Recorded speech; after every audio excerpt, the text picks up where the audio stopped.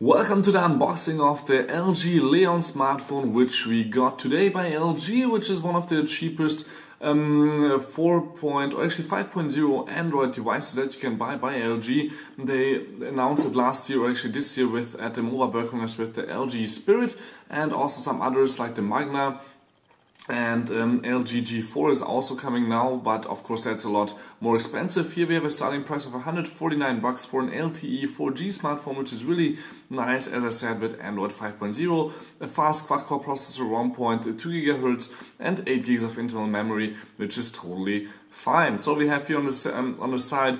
Um, a few text specs where we can read, for example, that we have a 1900 milliamp battery for a 4.5 inch screen, which is totally alright.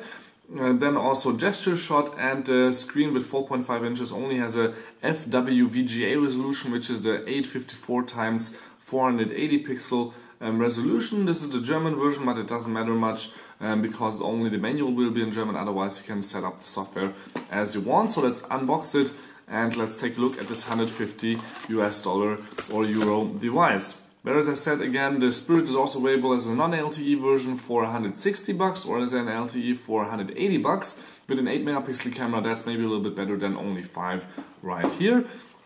But also here the camera is good enough as you will see in a second if you don't want to spend that much. So we have here again a little menu where we can read that it's called the H430 or 340N here in Germany. Then we have a power adapter, mic USB cable, and also the battery.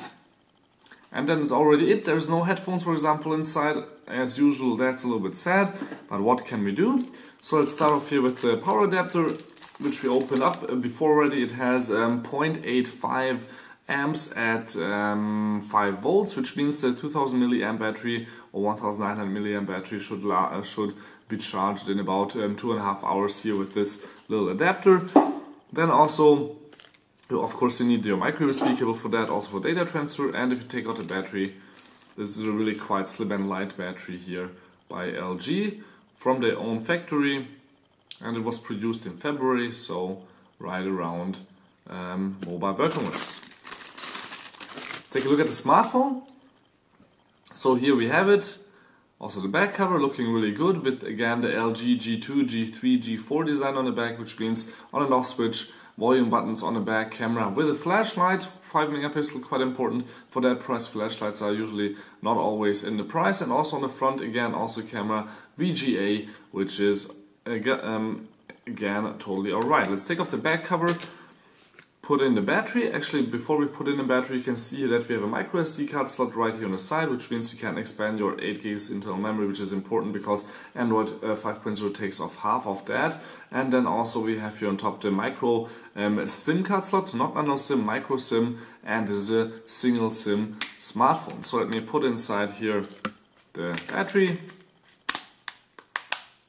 close it up like this, and then we have here again a speaker camera I showed you before, we have the LG logo here and also on the back we have also a speaker and if I just press the power button now for a little while, it will vibrate and it turns on.